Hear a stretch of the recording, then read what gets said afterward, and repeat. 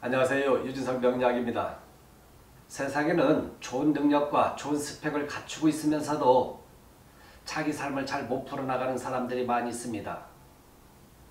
오늘은 이 부분을 가지고 한번 강의를 시작해 보도록 하겠습니다. 좋은 능력과 좋은 실력을 갖췄는데도 왜 삶이 풀리지 못할까?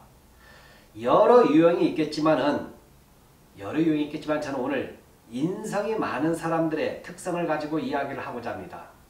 대표적으로 인성이 많은 사람들이 능력과 실력을 잘 갖추은 것에 비해서 자기 삶을 잘 못 풀어나갑니다. 그러니까 헛똑똑 허당이 좀 많습니다. 왜 그런가 한번 이야기를 해보도록 하겠습니다. 사주에서 인성이 많다. 인성은 그 정인과 편인을 이야기해 줍니다. 인성이 많다는 것은 목액에 있어서는 일간이 목일 때는 수에 해당이 됩니다. 일간이 목일 때는 수에 해당이 되고 화인 경우에는 목이 해당이 되고 일간이 토인 경우 이때는 화가 해당이 되고 금인 경우 토에 해당이 되고 수인 경우 금에 해당이 됩니다. 자 이것이 전부 다 인성에 해당이 됩니다. 간목, 일목, 인간을 아니, 간목과 을목을 갖고 태어난 사람들 일간이 목인 경우, 화인 경우 토, 금, 수. 자 그런데 이렇게 인성이 많이 있다. 인성이 많으면 인성은 첫째 무엇을 이야기하냐면 학문을 이야기합니다. 학문. 그리고 우리가 공부를 이야기해 줍니다. 이것이 많이 있으면 오히려 다자무자에 걸려서 없다. 그러니까 뭐냐? 학문이 없을 수도 있고 공부와 인연이 없을 수도 있고 말 그대로 사주 구성상 인성이 많으면 이것저것 공부를 많이 배우고 습득하고 좋은 스펙을 갖춘 사람들이 또 거기에 해당이 됩니다. 그런데 인성이 많은 사람들이 왜 자기 삶을 못 풀어나가는가? 조금 전에 이야기했지만 능력과 좋은 실력을 갖추었는데도 사회생활을 잘 못하거나 어떤 일을 하게 되면 실패에 돌아가는 경우 있고 또 그 좋은 능력과 실력을 갖추었는데도 어디 이력서를 내거나 아니면 또 어느 곳에 자기가 지원을 하게 될 때 막상 가서 하면 힘들어하거나 아니면 잘 되지를 않는 경우 자 이것이 바로 인성에 많은 경우에 해당이 된다 이걸 이야기해 줍니다. 그러니까 저는 대표적으로 여러 유형이 있겠지만 대표적으로 실력에 비해서 능력을 잘 갖춘 사람이 자기 삶을 못 풀어나가는 것을 저는 인성이 많은 경우를 이야기합니다. 어쨌든 일간의 목인 경우에 인성이 많다 그러면 여기에서 치고 나가는 것은 화에 해당이 됩니다. 화. 화는 식상이라 이겠죠. 식신과 상관을 이야기해 줍니다. 간목이 식신과 상관을 통해서 추진하고 배포 치고 나가는 추진력과 배포, 배짱을 이야기해 주는데 수의 기운이 너무 많으면 얘를 극하게 되겠죠. 간목에게 있어서 수가 많으면 수가 많으니까 화를 극하니까 추진력과 배짱, 배포가 약해진다, 없다 이렇게 보겠죠. 소멸되니까 이론은 많은데 생각은 많은데 공부한 건 많은데 이런 부분에서 약하니까 회사에 들어가서도 자기가 잘 작업을 못한다 이렇게 볼 수 있겠지. 왜? 자기 눈에는 다 모든 부분이 잘 갖추어서 보면 상대들은 좀 허술해 보입니다. 그런데 그 허술한 것과 상대하고 그런 부분에서 갈등을 겪으니까 자기 머릿속에 있는 이상과 생각하고 다른 걸 눈에 보이니까 잘 어울리지를 못하니까 조직 생활에서 힘들 수가 있다 이걸 이야기해 줍니다. 그래서 인성이 많은 사람들이 그러한 특성이 있다. 이것도 똑같이 그런 식으로 보면 됩니다. 화가 막 일간 화를 갖고 태어난 사람들이 목이 많다. 목이 많으면 토를 분교를 시키겠죠. 토. 목 갖고 또 식신상관에 해당이 되는 토를 분교시키고 또 토일간을 갖고 태어난 사람들 토를 갖고 태어난 사람들 금이 금이 식신상관에서 추진력 배포 배짱을 이야기해 주는데 화가 많으니까 화가 많으니까 금을 녹이니까 이렇게 약해진다. 이렇게 똑같이 해석하면 되겠죠. 그래서 인성이 많은 사람들이 삶 자체에서 허당들이 많다. 인성이 많은 사람들이 정말 이것저것 머릿속에 습득된 것에 습득된 것은 많지만 삶을 풀어나가는 데는 부족하다 이렇게 볼 수 있습니다. 그래서 조직, 주변성 이런 부분에서 많이 조직관계에 들어가고 주변성에서 많이 떨어진다 이렇게 설명할 수가 있습니다. 자, 인상이 많은 경우 하나를 다시 한번 보겠습니다. 자, 임자를 일간이 임이다. 예를 들면 신유를 가지고 있다. 신유. 임신 이렇게 임신. 그 다음에 여기는 이민이니까 예를 들면 이민 이렇게 이렇게 만약에 했습니다. 이민. 자, 인성이 많습니다. 인성 참 많아요. 인성이 많으니까 예, 식신상관을 극하겠죠. 인신상충 때리겠죠. 이렇게 많이 있으면은 머릿속에 습득된 것은 굉장히 많은데 사회성이 떨어진다 이걸 이야기했습니다. 자, 똑같은 건데도 다시 한번 이렇게 보자. 임신이 있다. 태어난 시간이 만약에 되면 신유시 그냥 신유시는 없지만 신유시를 한번 해보겠습니다. 신유시 그 이민 이렇게 있다. 만약에 이런 경우 이런 경우 이렇게 인상이 뒷부분에서 많이 있습니다. 그리고 여기에 식신상과 태어난 달에 있어요. 여기는 태어난 씨의 인시가 있습니다. 이민씨. 이런 경우 사주는 어떤 건가? 어떤 사람이 훨씬 더 자기 인생을 재미지고 편안하게 살아가는가? 이 고통 속에서 그래도 자기 중심으로 살아가는 사주는 이 사주인가? 이 태생인가? 이 태생인가? 이 태생은 참 고생 많습니다. 항상 어느 곳에 가든 고생을 탁월하고 열심히 성실하게 최선을 다해서 사는 사람. 그러나 늘 고생을 많이 해야 할 사람.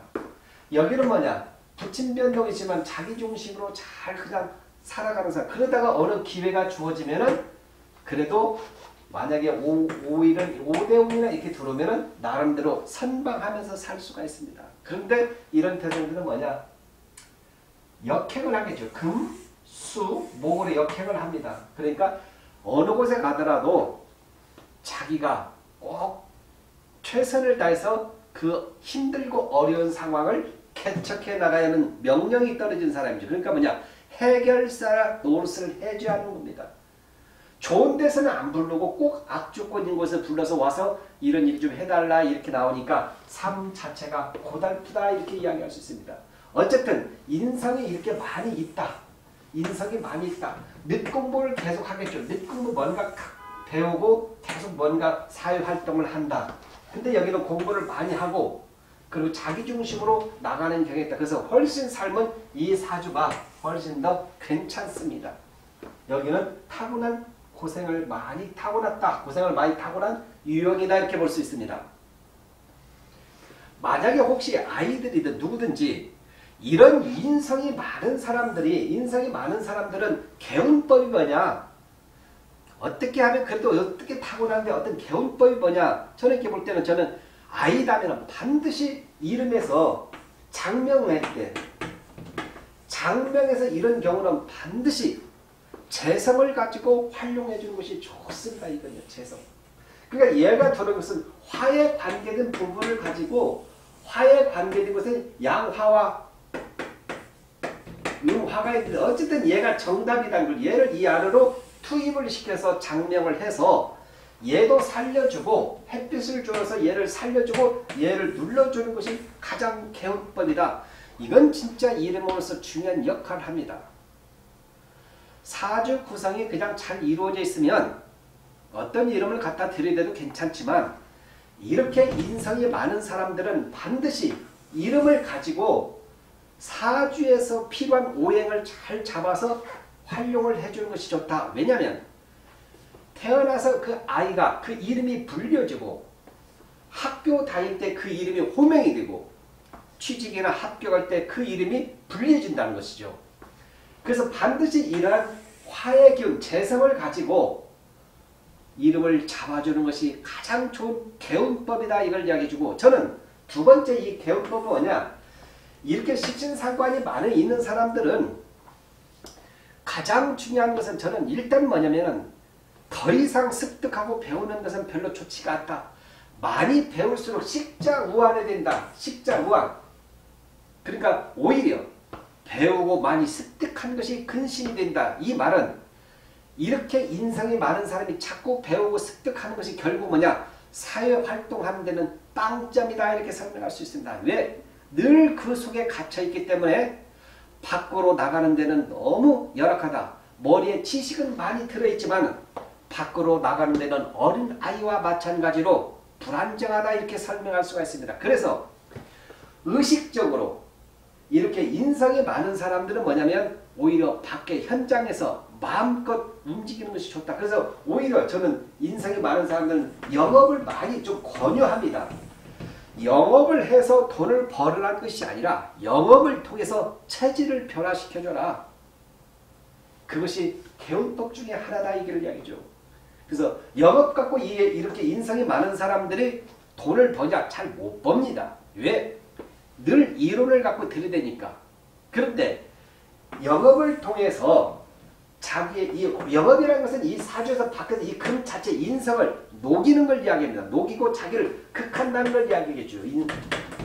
그걸 받는 것은 자기가 영업하면서 사람들과 많이 부침 변동을 겪고 아무리 자기가 똑똑하고 잘난 척을 해도 사람과의 비즈니스에서는 약하기 때문에 거기서 아픔을 겪겠죠. 그러면 아픔을 겪으면 관둘 것입니다. 근데 관두면 안 된다. 오히려 그 트레이닝을 계속 시켜줘라. 자신을 위해서 하다 보면 얘가 금 자체가 녹기 시작하면 이런 태생들은 워낙 머릿속에 저장되어 있는 것이 많이 있기 때문에 그래서 오히려 반전시켜서 크게 성공시킬 수 있는 기운을 갖고 있다. 인성이 이렇게 잘 활용이 되면 좋은 인성이 활용이 되면 뿌리 깊은 나무에 해당이 됩니다. 그래서 아무리 바람이 불어도 워낙 지적 역량이 좋기 때문에 삶에서 유해있게 누군가에게 사람들에게 도움을 주는 행위를 할 수가 있다 이걸 이야기합니다. 그래서 인성이 많은 사람은 결국 배운 거기 때문에 개운법은 뭐냐?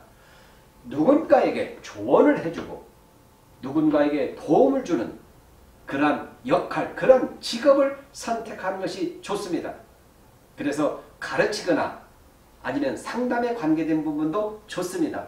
단 그 과정에서 트레이닝이 되지 않으면 트레이닝이 되지 않으면 도중에 힘드니까 또 자기 이론과 자기 생각과 다르니까 관둘 것이다. 그 관두는 것이 식신상관이 약하니까 포기하겠죠. 그런 경우에는 발전이 없다. 그래서 오히려 저는 거칠게 밖에 나가서 이 인생을 녹이는 것이 무엇이냐? 세파라는 것이죠. 사람과의 관계에서 극하는 사람과의 관계 여러 가지에서 우여곡절을 겪면서 오히려 이 인생이 무너져야 무너져야 인생이 깨져야 산다 이렇게 설명할 수 있습니다. 주변에 그런 제가 이야기한 유형들이 많습니다. 참 머리는 좋고 지식도 좋고 여러 좀 전에 스펙도 잘 갖춰져 있는데 거기에 비해서 삶 자체를 제대로 풀어나가지 못하는 사람들 그, 그 중에 가장 대표적인 것이 인성이 많은 사람들이 있습니다. 여러 유형이 있지만 인성이 많은 사람들은 그런 유형에 속한다. 단 인성이 많은 사람들은 이 금만 녹이게 된다면 오히려 그 다른 그 누구보다도 괜찮게 사는 사람들이 많이 제가 상담을 해왔습니다. 운이, 운이 직업과 운에서 이 인성이 많은 사람들은 잘 선택을 하게 되면 오히려 그 누구보다도 굉장히 튼튼한 뿌리 깊은 나무처럼 자기 삶을 연출해 나가는 사람들이 많았습니다. 여러분도 한번 참고해 보시기 바랍니다. 감사합니다.